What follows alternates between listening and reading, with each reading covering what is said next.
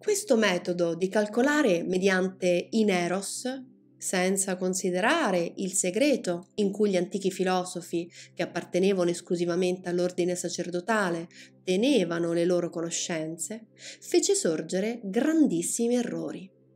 Esso fece credere agli ebrei, come ad alcuni platonici cristiani, che il mondo sarebbe stato distrutto al termine dei 6.000 anni. Gale dimostra come questa credenza fosse profondamente radicata negli ebrei. Essa ha anche indotto gli scienziati moderni a screditare totalmente le ipotesi degli antichi e ha fatto sorgere diverse sette religiose che, come gli avventisti del nostro secolo, vivono sempre nell'aspettativa della prossima distruzione del mondo. Poiché il nostro pianeta gira ogni anno attorno al Sole e gira una volta ogni 24 ore attorno al proprio asse, attraversando così cicli minori all'interno di un ciclo più grande, l'opera dei periodi ciclici minori viene compiuta e ricominciata entro il grande Saros. La rivoluzione del mondo fisico secondo l'antica dottrina, è accompagnata da un'eguale rivoluzione nel mondo dell'intelletto. Così l'evoluzione spirituale del mondo procede per cicli come l'evoluzione fisica. Di conseguenza, vediamo nella storia un regolare alternarsi di flusso e riflusso nella marea del progresso umano. I grandi regni e imperi del mondo, dopo aver raggiunto il culmine della loro grandezza, scendono nuovamente in accordo alla stessa legge che li ha fatti salire, finché, raggiunto il punto più basso, l'umanità si riafferma e sale ancora ad un'altezza che, per questa stessa legge di progressione per cicli, è un poco superiore a quella da cui era discesa. La divisione della storia umana in età d'oro, d'argento, di bronzo e di ferro non è una finzione. Vediamo la stessa cosa nella letteratura dei popoli. Un'epoca di grande ispirazione e di produzione inconscia è invariabilmente seguita da una di critica e di coscienza. La prima porta materiale per le analisi e la mentalità critica della seconda. Così tutte le grandi figure che torreggiano come giganti nella storia umana, come Buddha, Siddhartha e Gesù nel regno dello spirito, e Alessandro il Macedone e Napoleone nel regno delle conquiste fisiche, non furono che immagini riflesse di tipi umani esistiti diecimila anni prima nel decamillennio precedente, riprodotte dai misteriosi poteri che controllano i destini del nostro mondo.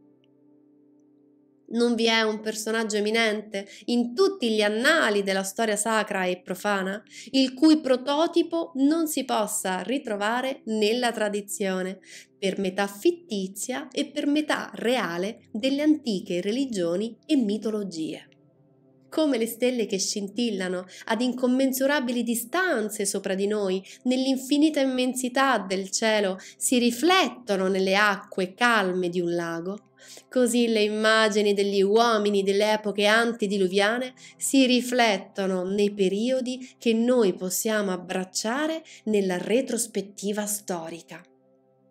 Come in alto, così in basso, ciò che è stato tornerà ancora, come in cielo, così in terra.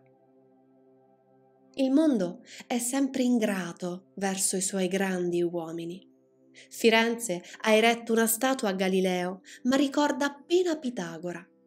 Il primo ebbe una guida sicura nei trattati di Copernico, il quale fu costretto a lottare contro il sistema tolemaico universalmente stabilito. Ma né Galileo né l'astronomia moderna hanno scoperto la postazione dei corpi planetari. Migliaia di anni prima di loro, essa era insegnata dai sapienti dell'Asia centrale, da dove Pitagora la portò non come speculazione, ma come scienza dimostrata.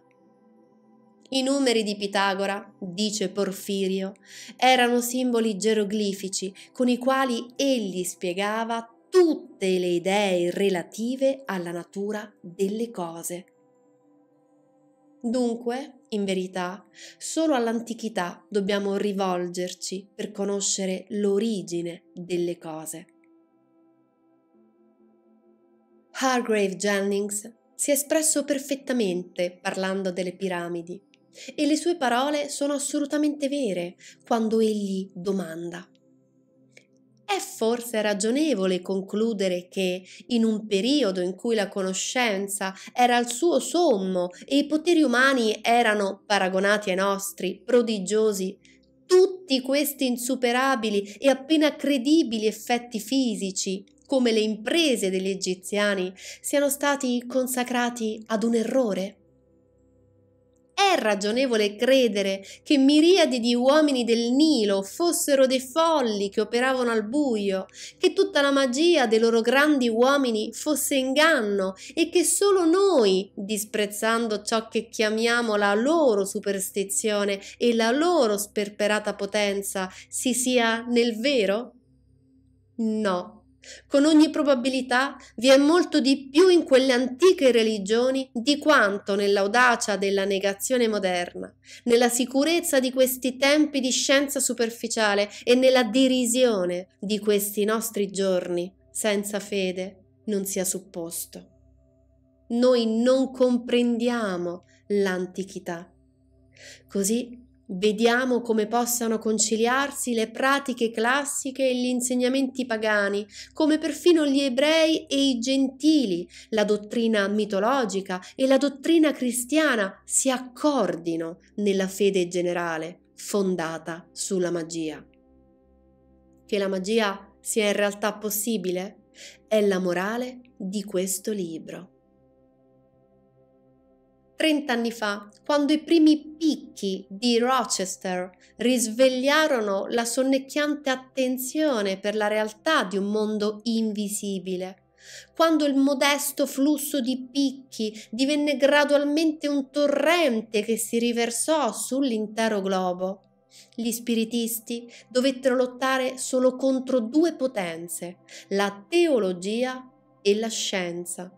Ma i teosofi hanno dovuto far fronte, oltre che a queste, al mondo in generale e agli spiritisti in particolare. Il predicatore cristiano tuona. Vi è un Dio personale e vi è un diavolo personale, sia anatema chi osa negarlo. Risponde sdegnosamente il materialista. Non vi è alcun Dio personale, eccetto la materia grigia del nostro cervello, e non vi è alcun diavolo. Chi lo afferma è un triplice idiota. Frattanto, gli occultisti e i veri filosofi non fanno attenzione né all'uno né all'altro dei due combattenti, ma perseverano nel loro lavoro. Nessuno di loro crede nell'assurdo, passionale e volubile Dio della superstizione, ma tutti loro credono nel bene e nel male. La nostra ragione umana, emanazione della nostra mente limitata, è certamente incapace di comprendere un'intelligenza divina, un'entità illimitata ed infinita, e, secondo la stretta logica, ciò che trascende la nostra comprensione e rimane interamente incomprensibile per i nostri sensi, non può esistere per noi. Quindi non esiste. Fin qui la ragione limitata concorda con la scienza e dice Dio non esiste. Ma dall'altro lato il nostro ego quello che vive, pensa e sente indipendentemente da noi nel nostro scrigno mortale, fa qualche cosa di più che credere. Esso sa che esiste un Dio nella natura, perché il sole d'invincibile artefice di tutto vive in noi e noi viviamo in lui. Nessuna fede dogmatica e nessuna scienza esatta può sradicare questo sentimento intuitivo inerente nell'uomo, quando esso lo ha pienamente sperimentato in se stesso.